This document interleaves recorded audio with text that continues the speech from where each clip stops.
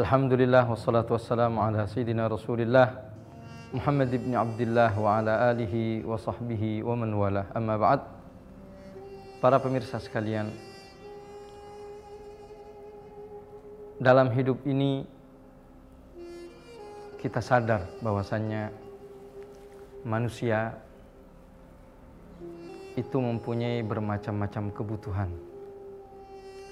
Jasad butuh untuk makan, minum, istirahat. Ruh butuh untuk beribadah kepada Allah Subhanahu wa taala.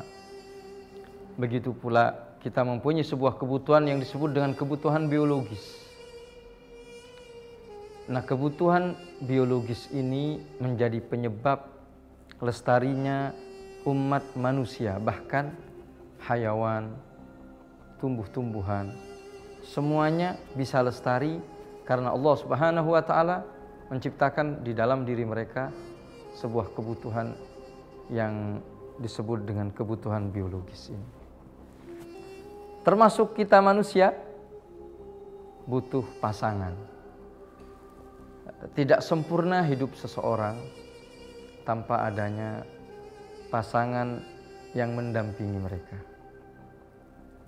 Bahkan Nabi Allah Adam alaihissalam ketika Allah Subhanahu wa taala menciptakan beliau di sorga.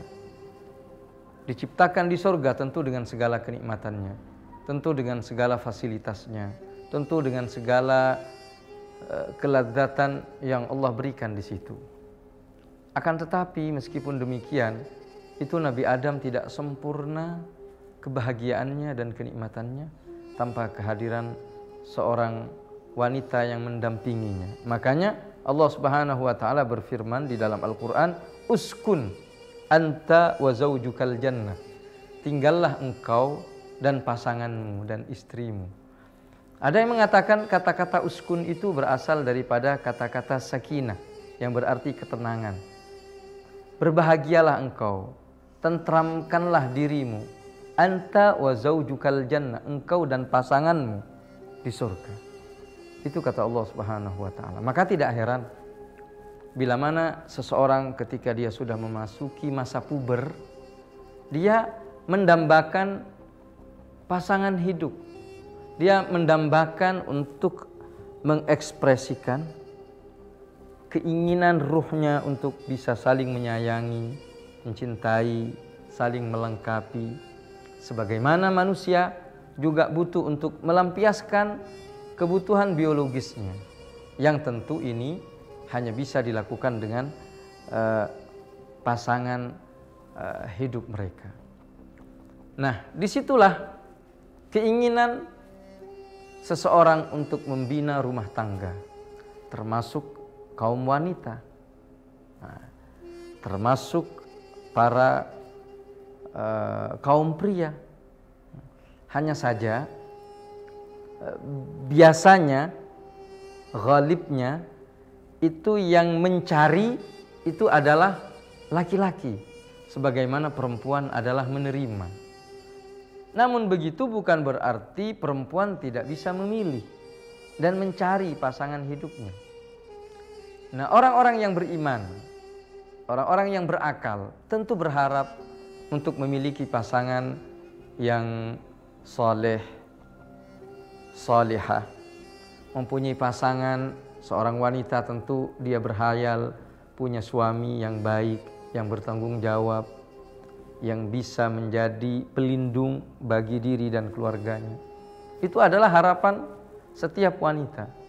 Nah, bagaimana seorang wanita menentukan pilihan di sini? Bagaimana dia seharusnya bersikap untuk mencari pasangan hidup yang ideal baginya. Apakah dia harus mencari yang kaya raya atau dia mencari pasangan yang uh, sudah mapan, mempunyai pekerjaan dan lain sebagainya. Itu memang bagian yang tidak bisa dilepaskan. Akan tetapi di sini seorang wanita mestinya di saat dia menginginkan mendapatkan jodoh yang saleh dikatakan oleh Allah Subhanahu wa taala al khabisatu lil khabisin katanya. Orang-orang yang jelek untuk orang-orang yang jelek. Sebagaimana Allah juga mengatakan lit-tayyibin. Orang yang baik untuk orang-orang yang baik. Nah, di sini kita dituntut di saat kita ingin menjadi seorang e, mendapatkan jodoh seorang pria yang saleh, kita terlebih dahulu menjadi sosok yang salihah. Berkumpul dengan orang-orang salehah, menghadiri majelis-majelis orang salihah, maka dia akan kenal orang-orang yang saleh dan dia akan dikenal oleh orang-orang yang saleh. Makanya di situ dia akan mendapatkan jodoh orang yang soleh yang sesuai dengan dirinya, visi hidupnya, dan seterusnya.